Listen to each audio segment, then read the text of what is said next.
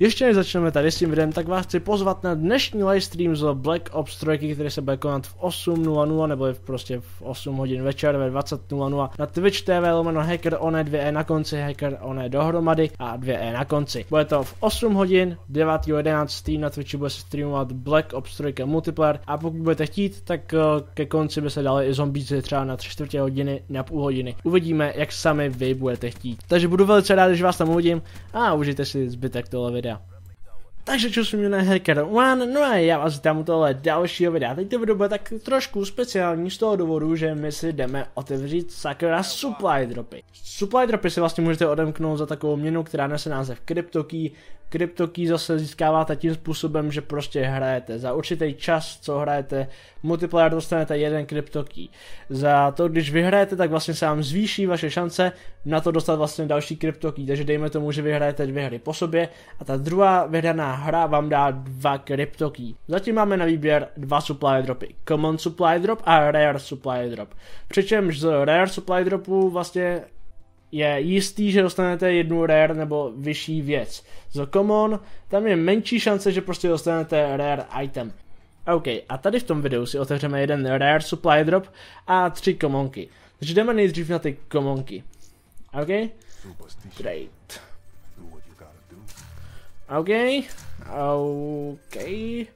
Vesper Camo, což není vůbec špatný. Dobrý, na druhou. Výborně. Zatím máme jenom Vesper Camo, takže v pohodě. Coin card, come on. Come on. OK, zatím tři commonky. Nic moc teda extra. Ten coin card jako úplně není špatný, ale nevadí. Další. Prosím, rare. OK, come on. Le legendary.